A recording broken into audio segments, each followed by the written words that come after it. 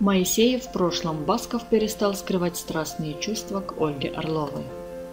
День рождения телеведущей певец поздравил ее пикантными тисканиями. Светлый праздник для любого ребенка и грустные мероприятия для возрастной женщины, которая до сих пор дорожит своей красотой.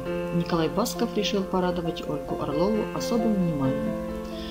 Даты было выбрано не случайно. 42-й день рождения певицы Николай перестал скрывать страстные чувства к Ольге.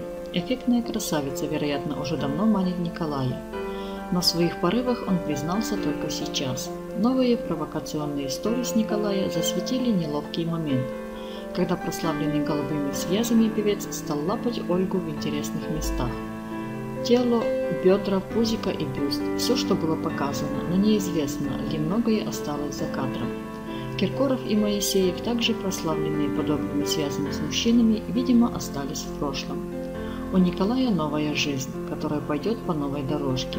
Ольга Орлова, как яркая и самостоятельная телеведущая, не против поразвлечься с Басковым, поэтому практически одобрительно отреагировала на подобные телодвижения одинокого натурального блондина. Надеемся, что это не очередная мимолетная интрижка Ольги, как в случае с Владом Кадони или Курбаном Амаровым, а новая полноценная история двух одиноких сердец.